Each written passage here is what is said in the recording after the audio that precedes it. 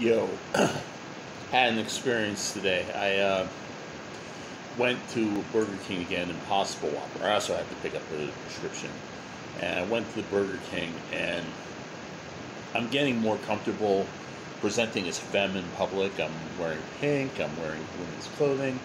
I feel very comfortable presenting myself this way now. But yo, I realized I gotta change my name.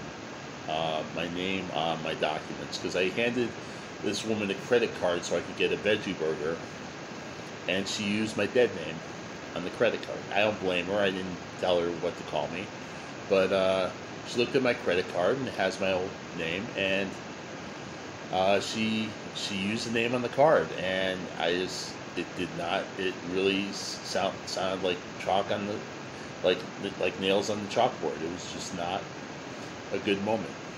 Anyway, so I got to work on that. I got to get my name changed. We'll talk to